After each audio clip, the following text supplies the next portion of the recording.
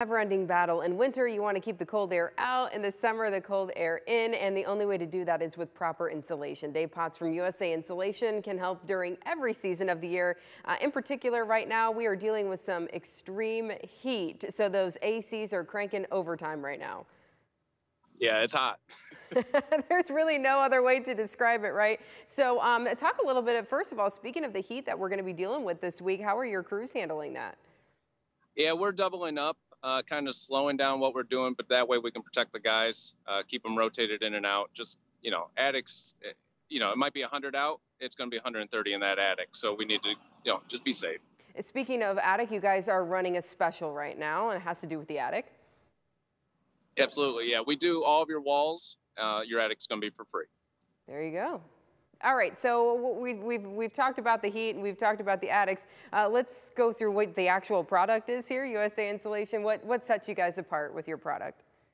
Yeah, we actually manufacture our own foam. Uh, we'll inject it from the outside. It's all done in Cleveland. Um, so it's actually controlled by us from the beginning to the end.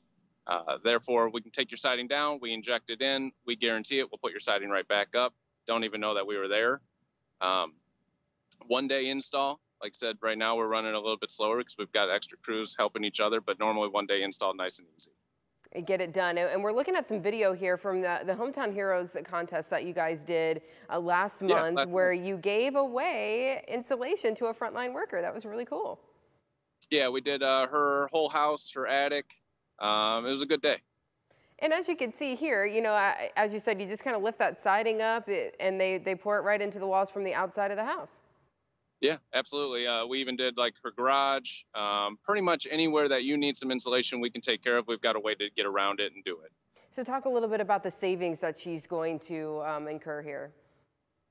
Yeah, so normally, depending on how you use your house, um, 30 to 50% is basically what you're going to save on your utilities. Um, the cool thing is, is it pays for itself in about three years. Uh, then from there, you still save, and yet it doesn't cost you anymore. Uh, so basically putting money right back in your pocket. Pretty right. cool. Right. Uh, so the process here is it's a one day to do the install, but you also do need to come out and do an inspection first. So that's where folks want to get started. Yeah, easiest thing is either to call us or go right on the website. You can schedule your own appointment. They'll come out, they'll take an inspection for you, half hour, 45 minutes ish, um, answer all of your questions, get everything ready to go for you, then get a date, and the guys will be there to get the install actually done that day.